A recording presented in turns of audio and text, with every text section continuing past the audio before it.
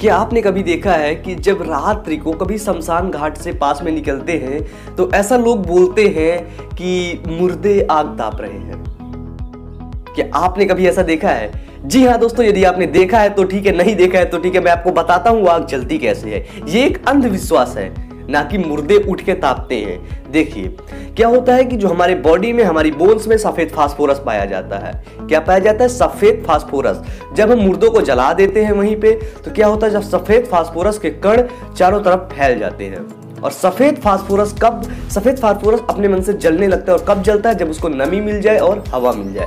तो देखिए, दिन के समय तो उसको हवा तो खूब मिलेगी, लेकिन धूप रहती है, नमी नहीं मिल पाएगी। इसलिए जब रात्रि होती है तो उसको नमी भी मिलती है और हवा भी मिलती है। इसके कारण से वो जितनी जगह सफ़ेद फास्फोरस के कण रहते हैं, आठ जगह, दस जगह, बीस जगह, वो सब जलने लगते हैं धीरे धीरे करके जलने लगते हैं। इस वजह से जब हम लोग उसके पास से निकलते हैं तो बोले हैं, देखो मुर्दे आग ताप रहे हैं। यही है दोस्तों एक अंधविश्वास। ये जानकारी सुन के आपको कैसी लगी? ऐसी ही जानकारी के लिए यूट्यूब पर हमारे चैनल को सब्सक्राइब कर लीजिए। धन्यवाद।